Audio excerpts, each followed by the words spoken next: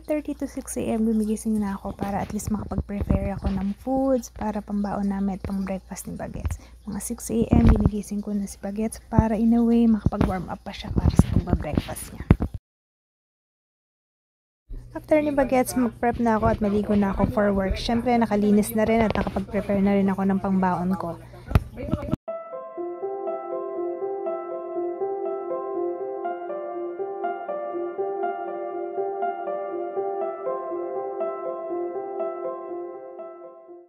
Included na sa uniform ko ang maglagay ako ng pen sa bulsa ko at syempre ang lagi kong kakampi sa araw-araw and he'll protect me across.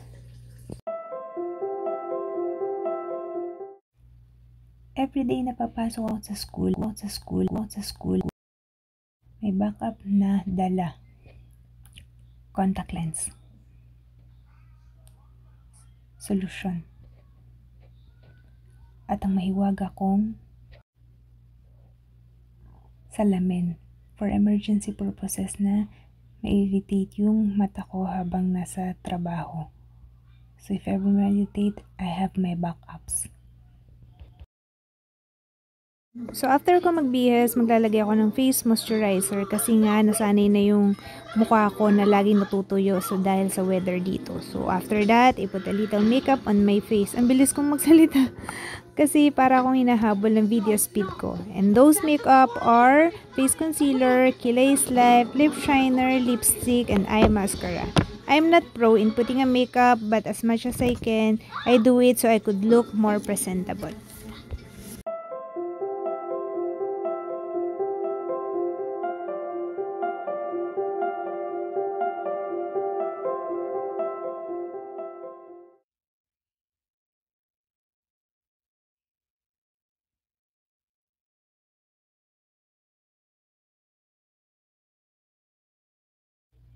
Hindi ako fully marunong magganito pero trying hard. Gusto ko lang po a way kahit nasa kitchen ako.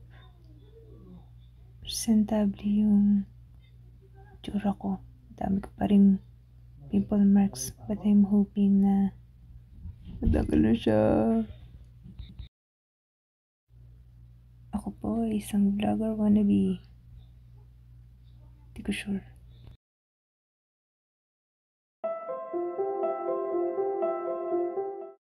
Di pa rin ako nagbabago. Di pa lang susuklay ng buhok. Na-remove ko na yung mga earrings ko yung hand rings.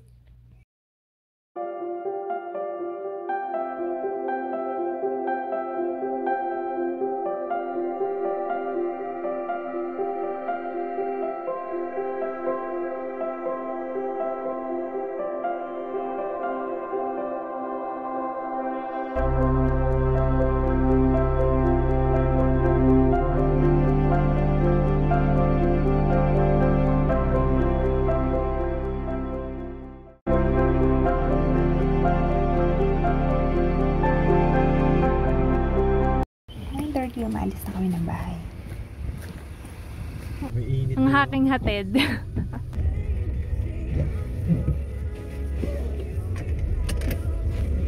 Kagabi ba naulan? Kagabi pa ba naulan? Hindi. Malamig lang ang simoy ng hangin kagabi. Tapos no, pwede na kami mag-park ni Wayne sa Sabado.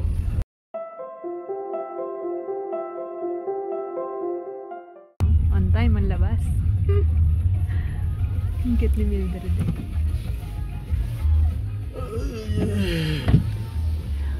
Good morning! Siyempre, naka-video ulit ako sis. We arrived.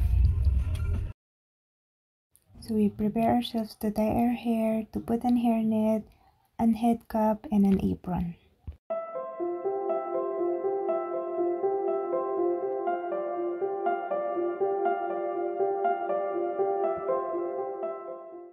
Ready to work!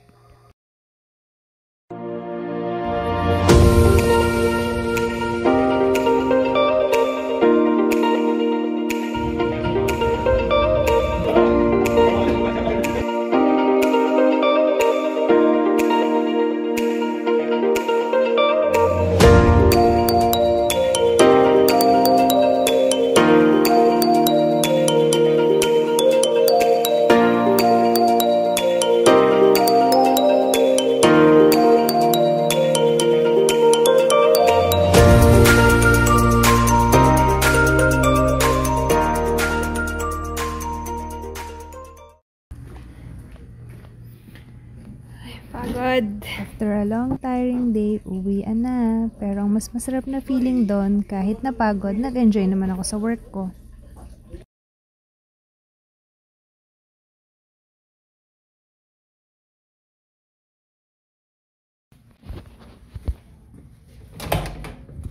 Yun, aga pa.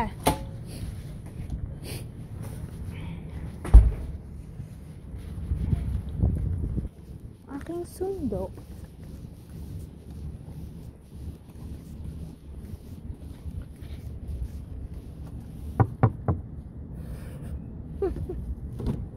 Wala, anak mo. Ba't kasi mangot ka? Anto ka? Hmm. Si Wayne. Doon, nag-cellphone. Nag-cellphone ko ngayon.